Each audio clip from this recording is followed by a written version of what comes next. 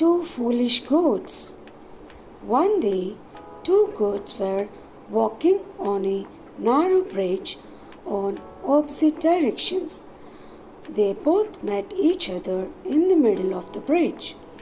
One goat shouted at the other, Hey, you go back and give me the way. No, no, you go back and give me the way. No, I will never go back. You go back and give me the way. No, you do that. both started fighting with each other. Finally, both of them slipped and fell into the water. Next day, two wise goats met each other at the same place. One goat said, Hey, go back and give me the way. No, no, I will not.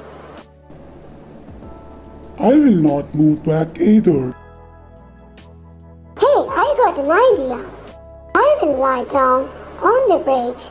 You just cross over me and go to the other side. They both did the same and moved on. The moral of the story is foolishness gives problems, wisdom gives solutions.